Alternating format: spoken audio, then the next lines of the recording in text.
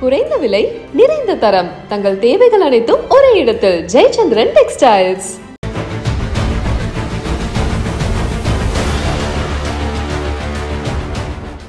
வணக்கம் நண்பர்களே. மின்னம்பலம் டிஜிட்டல் திண்ணைக்கு உங்களை வரவேற்கிறோம். நான் ராகவேந்திர ஆரா. நாடாளுமன்ற மக்களவைத் தேர்தல் நெருங்கிக் கொண்டிருக்கிற நிலையில் ஒவ்வொரு கட்சியும் ஒவ்வொரு வியூகம் வகுத்து கொண்டிருக்கின்றன. தேர்தல் எப்படி எதிர்கொள்கிறது யாரோட கூட்டணி? தொகுதிகள் எத்தனை? அப்படின்ற அந்த அடிப்படை கட்ட பணிகள் தொடங்கியிருக்கிற அதே நேரம் தேர்தலை எதிர்கொள்வதற்கான பொருளாதாரத்தை எப்படி கையாள்வது? அதாவது எப்படி அந்த கட்டமைப்பை எப்படி உண்டாக்குவது என்பது பற்றியும் பல்வேறு கட்சிகளும் பல்வேறு கட்ட வியூகங்களை வகுத்துக் கொண்டிருக்கின்றன. இது ஒரு பக்கம் இருக்கும்போது தான் தமிழ்நாட்டை குறிவைத்து அமலாக்கத்துறை மீண்டும் தீவிரமாக வேட்டையில் இறங்க தொடங்கியிருக்கிறார்கள் என்பதுதான் இப்போது கிடைத்திருக்கிற லேட்டஸ்ட் விஷயம். உங்களுக்கு தெரியும் கடந்த ஜூன் மாதம் அமைச்சர் செந்தில் பாலாஜியை குறிவைத்து அமலாக்கத்துறை சோதனையில் ஈடுபட்டது. அவரது தொடர்புடைய இடங்களில் முதலில் ஐடி சோதனையில் ஈடுபட்டது. அதற்கு பிறகு அமலாக்கத்துறை அவர் வீட்டுக்கே சோதனைக்கு சென்றது.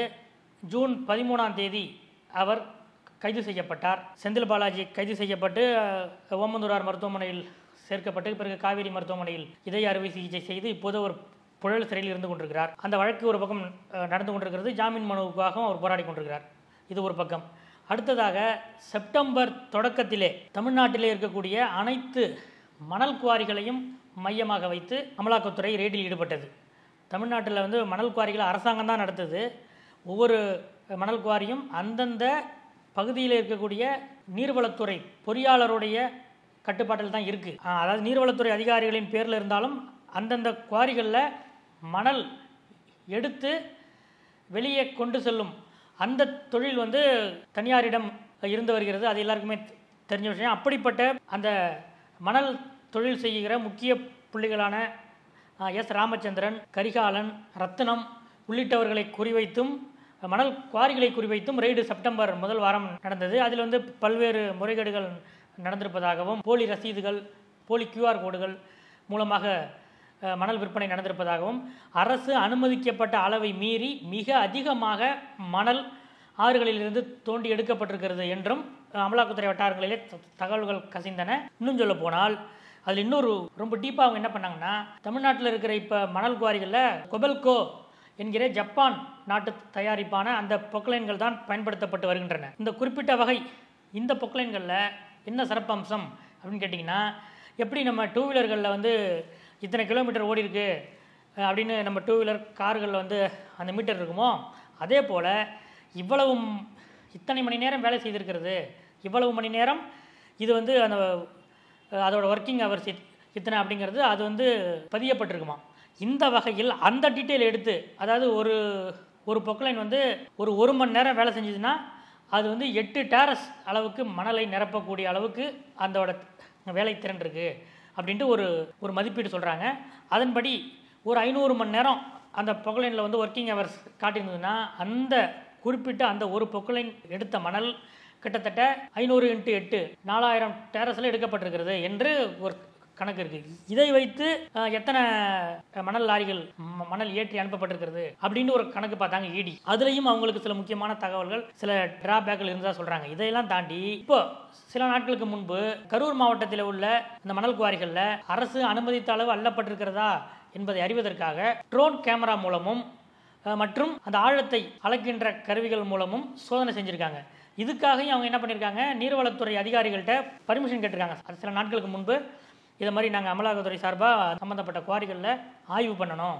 அதாவது எவ்வளவு அடி அள்ளுவதற்கு அனுமதி வழங்கப்பட்டிருக்கிறது அங்கே எத்தனை அடி அள்ளியிருக்காங்க அப்படின்றத ஒப்பிட்டு பார்க்கறதுக்காக அந்த அந்த ஆய்வு செய்யணும்னு நீர்வளத்துறை அதிகாரிகள்கிட்ட கேட்டதாகவும் அந்த கேப்பில் அதை அவங்க வந்து ஒரு குறிப்பிட்ட நாள் தள்ளி இத்தனை இத்தனாம் தேதி ஆய்வுக்கு வரோன்னு சொல்கிறதுக்குள்ளேயே இந்த நீர்வளத்துறை அதிகாரிகள் மூலமாக தகவல்கள் பகிரப்பட்டு அந்த அமலாக்கத்துறை ஆய்வுக்கு வர்றாங்கல்ல அதுக்கு முன்னாடியே அந்த இடங்களில் மீண்டும் அந்த குழிகளில் மணல் நிரப்பப்பட்டு அந்த அந்த ஆழம் வந்து தூர்க்கப்பட்டதாகவும் ஒரு ஒரு தரப்பில் சொல்கிறாங்க இப்படி செந்தில் பாலாஜியை குறிவைத்து ரெய்டு நடத்தி அவருக்கு அந்த டாஸ்மாக் மூலம் கிடைக்கிற வருமானம் எங்கெல்லாம் போய் எப்படி போகுது எந்தெந்த எந்தெந்த நெட்வொர்க்கில் எங்கெங்கே இருக்குது அப்படின்றதெல்லாம் ஒவ்வொருத்தராக செந்தில் பாலாஜிக்கு தொடர்புடைய கிளை கிளைக்கு கிளை கிளைக்கு கிளை அப்படின்ற எல்லாரையும் ரெய்டு பண்ணாங்க அப்போ.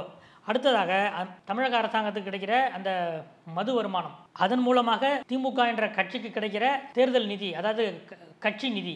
இதை அறிவதற்காக அது மது நெட்வொர்க்கை மது நெட்வொர்க்கை குறிவைத்து வைக்கப்பட்ட ரெய்டு நடத்தப்பட்ட ரெய்டு ஒரு பக்கம். அடுத்ததாக மணல் விவகாரத்திலே அஹ், இதிலையும் இ- இதே போல அதாவது கணக்கு காட்டப்படாத பணம் கட்சி ஃபண்டாக செல்கிறது என்ற ஒரு கருதுகோளின் அடிப்படையில் இப்பையும் தொடர்ந்து இந்த ரெய்டு பண்ணிட்டு இருக்காங்க. இந்த ரெய்டில் இதன் உச்சகட்டமாக நீர்வளத்துறைக்கு உட்பட்ட மணல் குவாரிகளில் ரெய்டு நடத்தி அது சம்பந்தப்பட்ட தொழில் செய்கிற அந்த தொழிலதிபர்களோட வீடுகள் அவங்களோட அலுவலகங்களில் ரெய்டு நடத்தி மணல் குவாரிகள் ஆராய்ந்து எல்லாம் பார்த்த பிறகு அடுத்ததாக நீர்வளத்துறை அமைச்சர் துரைமுருகனை குறிவைத்து ரெய்டு நடத்த போகிறதா ஒரு தகவல் வந்து சில நாட்களாகவே திமுக வட்டாரத்தில் ரொம்ப பரபரப்பாக திமுகவின் மேல்மட்ட வட்டாரங்களில் ஓடிட்டு இருந்திருக்கு. இதை வந்து சிலர் வந்து திரு துரைமுருகனுக்கே தெரியப்படுத்தியதாகவும் அவர் வந்து தன்னோட பையன் அதை வேலூர் எம்பியான கதிரானந்தை தொடர்பு கொண்டு இதை சொ- சொன்னபோது அவர் வந்து இப்போ துபாயில் இருக்கிறார். அவர் வந்து அதெல்லாம் பயப்படாதீங்க. அதெல்லாம் ஒன்றும் இல்லை அப்படின்னு வந்தால் வரட்டும். எதையும் எதிர்கொள்வோம் அப்படின்னு அவர் சொன்னதாகவும் சொல்கிறாங்க செந்தில் பாலாஜியை மையமாக வைத்து இந்த டாஸ்மாக் வருமானம் பற்றிய ரைடு அடுத்ததாக துரைமுருகனை மையமாக வைத்து மணல் வருமானம் பற்றிய ரெய்டு என்று இரண்டு வகையிலே திமுகவுக்கு கட்சி நிதி எப்படி எப்படி போகுது அப்படின்றத குறிவைத்து இந்த ரெய்டு நடத்தப்பட இருக்கிறதா சொல்றாங்க. அடுத்து எந்த நேரத்திலும் அமைச்சர் துரைமுருகனுக்கு தொடர்புடைய இடங்களிலே இடி ரைடு வரலாம் என்பதுதான் திமுக வட்டாரங்களிலேயே உலவுகிற ஒரு ஒரு அலார செய்தியாக இருக்கிறது. இது ஒரு பக்கம் இதற்கிடையில் இப்போ கடந்த ஐந்தாறு நாட்களாக திமுக எம்பியும் முன்னாள் மத்திய அமைச்சருமான ஜெகத் ரட்சகன் வீட்டில் ஐடி ரெய்டு நடத்தினாங்க. அந்த ஐடி ரெய்டில் என்னென்ன கேட்டாங்கன்னு நேற்று நம்ம விரிவாக அதை பார்த்தோம். ஜெகத்ரட்சகன் அவர்களிடம் பல்வேறு கே- கேள்விகளை கேட்கும்போது அவர்கள் குறிப்பாக என்ன கேட்டிருக்காங்கன்னா வரக்கூடிய மக்களவை தேர்தலில் தமிழ்நாடு மற்றும் புதுச்சேரி சேர்த்து இந்த நாற்பது தொகுதிகளுக்கும் ஒவ்வொரு தொகுதிக்கும் இருபது கோடி வீதம் எண்ணூறு கோடி ரூபாய் திமுக தலைமை வந்து தேர்தல் செலவு செய்ய திட்டமிட்டு உங்கள்கிட்ட கொடுத்து வச்சிருக்கிறதா சொல்கிறாங்க அது எங்கே இருக்குது என்பதுதான் ஜெகத்ரஞ்சகனிடம் வந்து வருமான வரித்துறையினர் கேள்வி கேட்டதாக சொல்கிறாங்க இது மாதிரி அது அது அதாவது எந்த ரைடாக இருந்தாலும் பணம் எங்கே? இந்த பணத்தை எங்கே கொடுத்தீங்க? இல்லை இந்த பணம் இப்போ எங்கே? இதுதான் அவங்களுடைய ஒரே கேள்வியாக இருக்கிறது. அதாவது செந்தில் பாலாஜியிடம் கஸ்டடி எடுத்த போதும் இதே கேள்விதான். இடி அதிகாரிகள் மணல் குவாரிகளை ரெய்டு நடத்தினப்ப அந்த தொழிலதிபர்கள் சம்பந்தமான இடங்களில் ரெய்டு நடத்தப்பையும் இதே கேள்விதான். வருமான வரித்துறையினர் ஜெகத் ரட்சங்களிடம் ரெய்டு நடத்திய போதும் இதே கேள்விதான். அதாவது கட்சி நிதி எங்கே எப்படி வந்து வைக்கப்பட்டிருக்கு? இதுதான் இடி மற்றும் ஐடியோட ஒரே கேள்வியா இருக்கு. ஐடி வந்து இந்த விவரத்தை தெரிஞ்சுக்கிட்டு இடிக்கு சொல்றாங்க. அவங்க சில பில்டர்கள்ட்ட ரெய்டு நடத்தும் போது கூட இந்த பில்டர்கள் இந்த பில்டிங் நிறுவனத்தில் இந்த கட்டிட நிறுவனத்தில் கட்டுமான நிறுவனத்தில் எந்தெந்த அமைச்சர்கள் முதலீடு பண்ணியிருக்காங்க அப்படின்னு சொல்லுங்க. என்ற கேள்வியையும் வந்து ஐடி வச்சிருக்காங்க. அப்படி சில தகவல்கள் கிடைக்கும் போது ஐடி வந்து இந்த இதை இடிக்கு பாஸ் பண்ணி இடி எங்கேருந்து வர்றாங்க? அதாவது திமுகவின் வரக்கூடிய மக்களவை மக்களவைத் தேர்தலில் திமுக இந்த பொருளாதாரத்தை எப்படி கையாள்கிறது? இதை எங்கே வச்சிருக்காங்க? எப்படி எப்படி மூவ் பண்ணுறாங்க என்பதை அறிந்து கொள்வதற்கான ஒரு ரெய்டாகவே இந்த அமலாக்கத்துறை ரெய்டுகள் பார்க்கப்படுகின்றன. அதற்கு உச்சகட்டமாகத்தான் இப்போது திமுகவின் பொதுச் செயலாளராக இருக்கும் துரைமுருகனை குறிவைத்தே இந்த ரெய்டு நடத்தப்பட இருப்ப இருப்பதாகவும் எந்த நேரம் வேண்டுமானாலும் அவரை குறிவைத்து ரெய்டு நடக்கலாம் அப்படின்ற ஒரு பேச்சும் இருக்குது இதற்கெல்லாம் நம்ம இடி வட்டாரங்கள் ஐடி வட்டாரங்களை விசாரித்த போது அவங்க என்ன சொல்கிறாங்கன்னா சார் போர் நடத்தும் போது என்ன பண்ணுவாங்க? ஒரு நாட்டு படை வந்து இன்னொரு நாட்டு மேலே போர் நடத்தும் போது முன்னெல்லாம் வந்து நேருக்கு நேராக போரிடுவது தாக்குவது அப்படின்லாம் ஒரு கருத்து இப்போ ஒரு உத்தி என்னன்னு கேட்டால் எதிரிகளோட ஆயுத கிடங்கு எங்கே இருக்கோ முதல்ல அதை தான் அழிப்பாங்க. இப்போ வந்து எதிரி கையில் வச்சிருக்கிற ஆயுதம் வந்து அவங்களுக்கு வந்து மு- முக்கியம் கிடையாது. எதிரி எடுக்க போகிற ஆயுதம் தான் முக்கியம். அதனால் எதிரியோட ஆயுத கிடங்களை தான் முதல்ல தாக்குதல் நடத்துவாங்க. முதல்ல அந்த ஆயுதங்களை ஒழிப்பாங்க. அந்த உத்தி தான் இப்போ ஜனநாயக ரீதியாக இங்கே வந்து பாரதிய ஜனதா இப்போ பண்ணுறாங்க அதாவது திமுக வரப்போகிற மக்களவை தேர்தலுக்கு செலவு செய்யும். எப்படி இருந்தாலும் தே- தேர்தலில் பணம் கொடுத்து தான் ஆகணும்.